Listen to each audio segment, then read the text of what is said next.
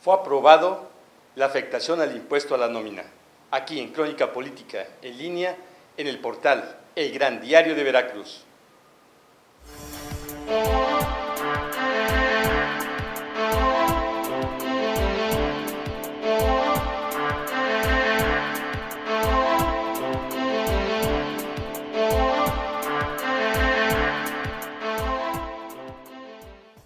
Las reacciones no se hicieron esperar.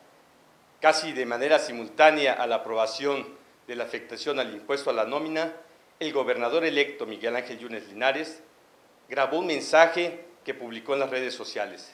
En este amenaza incluso con desaparecer ahí el impuesto sobre la nómina porque no considera que los adeudos que tiene el gobierno del Estado deban ser pagados con este impuesto. Es claro que los empresarios que prestaron un servicio, que construyeron una obra, tienen derecho a que les pague el gobierno del Estado. Pero también es claro que estos pagos deben ser totalmente transparentes y apegados a la legalidad. Lo que ha dicho el gobernador electo es solo una amenaza que deberá ser cumplida hasta que sea gobernador. En este momento, el gobierno actual tiene la facultad de integrar los dos fideicomisos que crea esta reforma y pagar a los empresarios a los que le adeuda.